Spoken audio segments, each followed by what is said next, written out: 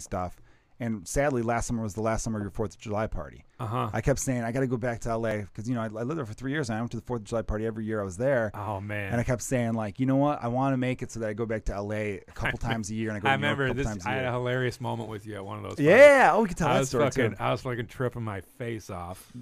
And You guys would always there'd be a good, good I, group of you used, I ate mushrooms And pr- acid too, pretty right? much every year. just Acid, yeah, yeah. acid or mushrooms, yeah. and They're the best Fourth of July parties in the city of LA in and uh, Venice. it was a on lot of fun. Marina It's Del Rey. bulletproof, dope. bulletproof location. It was right by the marina. There's where the you know millions of dollars of Oh, fireworks, and fuck then and then s- and then uh, six blocks from the beach, so you could do. He would the jump whole, into the ocean by himself. the whole neighborhood was was popping off. you know, it was just like a perfect spot. it was perfect. And then I'd take somebody down there. You know, fucking Andre came, Brooks came, Yeah. people came. You know, down to the my, this is Eric Andre mission. Brooks Wheelan. I'd I'd Name pop a pop a couple beers, and Yeah. uh, I tried to do it without doing it. I you know. I wanted to do and it. uh, and uh, and then I you know watch the, watch the fireworks on you know on acid or something in the in the ocean, and then come back and fucking you know party all night, and that was it.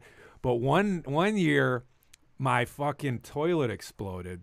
These two chicks went in and just and I got and somebody's like, dude, your toilet's a mess, and I fucking went in there.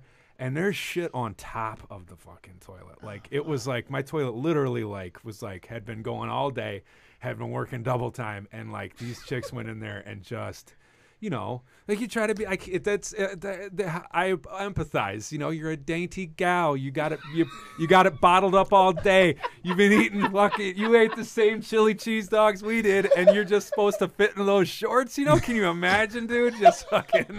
And these chicks went in there and double teamed my fucking bathroom, and it's not a fucking state of the art. I mean, this is this is an old court. We got a courtyard. These are built for like Korean War vets. Like the, my whole block is like 1950s, like you know, like old fucking Yeah, totally. old everything. And and this place was a fucking war zone, and the fucking water is just coming out of this toilet. Shit, everything fucking everywhere. And I just like grabbed the toilet mat and I and I dammed up the door. And I was like, I fucking got this. And I started freaking out, and everybody, and I was like in there. I was like, nobody, there's nobody else is gonna fix my fucking toilet. That's there's party. shit everywhere. There's a party going on right now. I'm on. I'm hard on fucking hallucinogens, and I'm just like, I, you know, I can handle my fucking drugs, and I'm just like, but I'm not gonna handle them well right now. and I'm fucking yelling at people. At one point, I put on these blinky sungla- sunglasses with the fucking neon frames just to let everybody know that I wasn't losing my mind. Everybody's like, Yeah. he's peeking. Help him. Stop him. And my- buddy Jay, my fucking business partner, comes up to me like, "Are you okay, bro?" I'm like, "I'm fucking fine, dude. I'm fucking up to my knees and shit, but I'm fucking fine. Let me deal with this." And I'm fucking just like throwing shit into a bag, and I'm like, wh- I'm using up towels, and I got everything fucking in there, and I fucking rip my shirt off. I got no fucking shoes on. And I fucking pile this shit into a garbage bag. I finally get everything barely cleaned up to the point where I can come back and address the fucking hygiene matter of it. And I walk out my door with the fucking two bags full of shit covered garments, and Joe's out there. Joe's out there watching me. He goes, "Put your fucking shirt on, hero."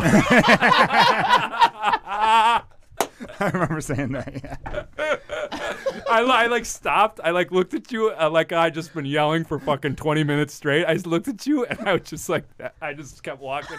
I just kept walking. I thought it was the fucking funniest thing ever, dude.